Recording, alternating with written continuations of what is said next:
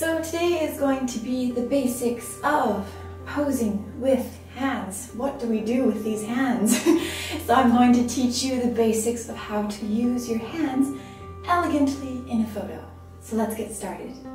So my first recommendation is, and always will be, is to relax. This includes including your hands and to stretch before doing your photo session.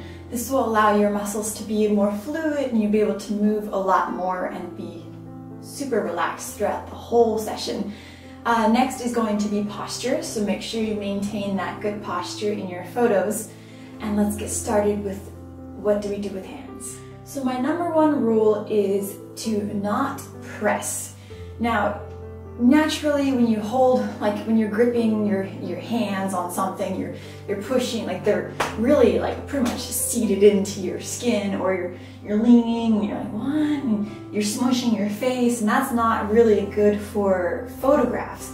So it's fine in person we don't really we don't really notice those things but when we're posing you'll actually want to gently rest the hand if maybe not even at all like kind of like this just gently rest the hands onto the surface of whatever you're touching, whether it be like your shoulders, your arms, uh, even carrying an object, you want the object to kind of just hang gently in your hands.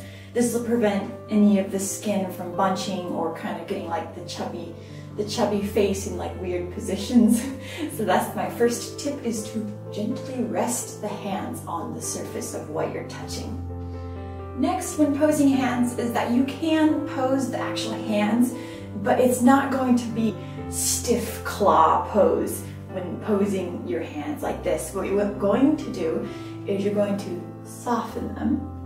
So almost like, I don't know, like they're like floating, like they're kind of like in space and they're just floating around. So think of your hands as gently moving, kind of like water. Uh, it's it's helpful if you are into dance, like I do, like belly dancing, and there's a lot of kind of you know movement and kind of flowing of the hands, which is really nice. I recommend if you're not too confident with how your hand poses are, you can kind of do some, I don't know, type of dance moves or learn some dance moves that use the hands to kind of loosen them up a little bit and kind of get you those soft hands that we need. So your next step is soft but posed hands. So let's go ahead and give it a try. So first have your two hands like this and then you're just going to gently open them and relax. And try turning them into a different pose. Try crossing them. Be relaxed. There we go. Yeah, you probably got it by now. So you can tell they're just they're just so dainty and so soft, unlike in real life. right? So that is kind of going to be your exercise for today is just soft hands. Everything is soft, soft, gentle, even if you're a guy. Men can have gentle hands too. okay, so next step, when posing, try not to face your palms towards the camera. So naturally, our hands are about the size of our face, roughly. So that's actually taking up a lot of the picture and taking up our show time. So you don't want that. you want this to be the focus, not this. Okay, so you're going to not want to expose your palms to the camera as much. You can for a few photos, but for the majority, you want to turn them either sideways or backwards. This one's still a little bit awkward for me, but the key is to not have like open hands. So if I did open hands, you can see it's like roughly the size of my face. But if I'm to turn them in, I have a little more kind of elegant, kind of very thin, thin focus on them. So that's what you want to do is palms in. Uh, next tip to use is I like to start doing photos without hands first, just to kind of give the photographer a variety of without the hands. Next, you can involve one hand, so you can pose with one and kind of work, work with one. You can try the other hand, try working with that one for a while, just for a variety of poses. And then next, you can add both hands. Then you can start working with both ones for a more artistic feel. So that way, the photographer gets a variety of no hands, one hand, the other hand, and two hands. And the next one to focus on, and my last kind of tip for hand posing, is going to be there is a variety you can do. There's so many types that you can do. A good way to learn them is to study in the mirror, uh, to study from other models. Copying in modeling is not copying, if that makes sense, because it's your face, it's completely different the angle of the photographer is different. So there's no like rule oh, you can't, you're copying that model's pose. Like there's nothing like that. Don't worry, just do it. so copy, copy, copy, copy and study, make it your own. That's what I say in modeling. So pretty much learn from other models, learn from not just if you're a woman, not just from female models, you can learn from male models or anything pretty much. Any source of information is you can learn and bring it to your own for hand posing. And lastly is to think of the amount of space you're using. So right now my face is taking up a part of the frame and perhaps I'll start working the hands near my face and around the face.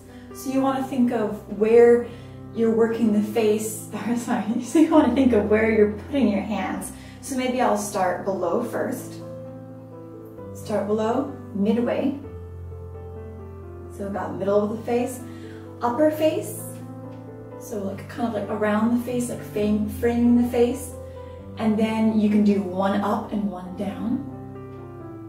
So you have quite a variety of how to place your hands. You have lower, middle, upper, up and low, mid, uh, you, you, can go all, go on and on for, for many days. And then if you're still like, yeah, but I just want something else, don't forget you have all of this space around you right now, like this huge empty space that can be worked as well. So if you want to bring out the arms, make space, so see how this hand is already making space, bringing in, connect the two, perhaps, I don't know if you can see this probably out of frame, but you can go around, bring it around like this. So you have options to move your hands out in these kind of directions. This is great for if you're doing some jewelry modeling and you kind of want to bring the focus out to here. So just to summarize, we have relaxing and good posture while posing. Don't forget those angles. If you don't all know already, you can check out some of my other videos on how to pose without the hands. Next, you're going to remember not to push and grab too tight. You're just going to gently rest the hands as you pose. And don't forget to have soft hands while posing, nothing too like straight, I don't know, nothing too like claws. You don't want claws or anything unless that's kind of like the artistic pose you're going for. So you want gentle, soft hands. Remember hands in, so not palm out, but more in, so sideways or in, or twisted inwards for more delicate, kind of small looking, so that way your face remains the largest object in the frame. And lastly, don't forget you can use one hand, no hand, two hands, lots of options, and the space around your body, as well as the space around your face. Don't forget this beautiful neck that you have that you can accentuate with your hands as well. So good luck, and don't forget to subscribe down below. Too cheesy, I know, right? Okay, so don't forget to subscribe down below and hit the like button so that others can go ahead and find this video and improve their hands in their photos. And for you, don't forget to study hand poses, very important. As models, we're always studying and improving.